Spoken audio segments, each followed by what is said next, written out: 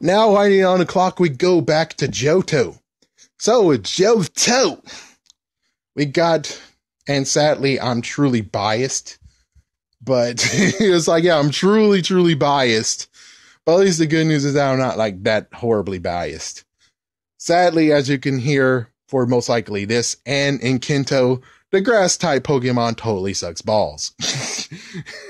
yeah, we got freaking Meganium, aka Chikorita. Never chose Chikorita. I did try Chikorita once in a trial period where I actually decided to say, okay, well, I usually have Bellsprout with me. But Bellsprout usually eventually dies out, and I'm like, oh crap, I don't have a grass starter, starter anymore because Bellsprout cannot actually keep up. It's like either evolve him or you're screwed. And I'm like, I don't want to evolve him because his evolve forms are ugly as hell. so I gave a Chikorita a try, and Chikorita actually was a good grass type. So that's good. I mean, yeah, good everything. But as for a starter personally, I wouldn't actually choose her because that's just how it goes. Not to mention off the back. That's the sucky part. Off the freaking damn back. The first one you actually go against is Falkner. And Falkner has bird type Pokemon. So yes, I know you can easily go up there and be like, okay, I went up to this route I can't ever climb up to until later. Dance around, dee, dee, dee, and find freaking Geodude. And there you go. You're saved. I know. I know. But still, if you have to do that and just have to make a cop out because chances are you want Geodude just to help you out, but you're not going to have Geodude in your party forever, right? So the experience points that Geodude gets is wasted on him. That's kind of sucky. That's kind of really sucky. So anyways, yeah, Chikorita never would choose. But as for its look, I'm fine with its look. I mean, yeah, the original Chikorita look from the old games and a few later on kind of looks off putting, but Chikorita's still cool. I'm still okay with Chikorita. Most likely because Chikorita was awesome with Ash. yep. What a beauty. Just the fact of how buddy buddy she was with Ash. That was cute. That was really cute. Next up is, of course, Cyndaquil. My personal favorite. I have two personal favorites, and Chikorita, I mean, Cyndaquil is one of them. Cyndaquil, he sadly is only a fire type. That's all, just a fire type. He's just a normal fire type. You have no way to actually strategize with him.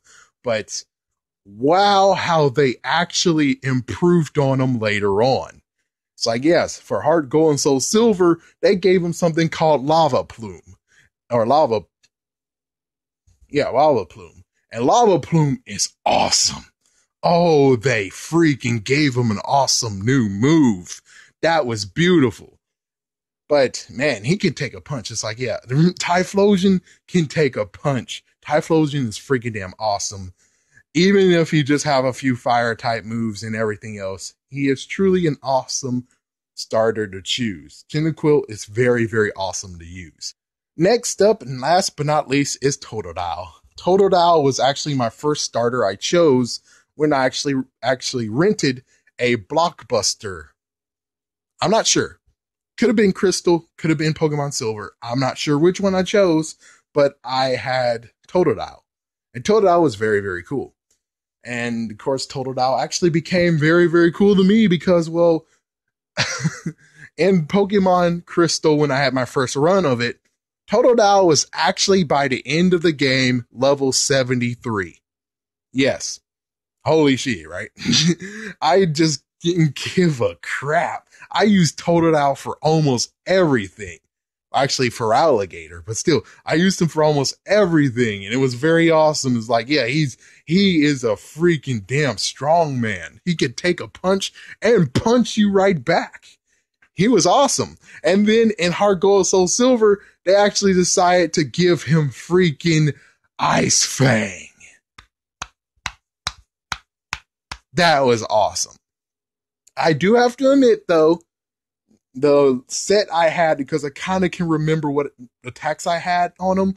I think I had Rage and Surf and two other attacks. That's the only messed up part is the fact of you gave Totodile some good stuff. You made him very cool, but sometimes I think if you're stacking up good attacks, they're kind of lacking on them. It's like, yeah, you could have done better with this guy.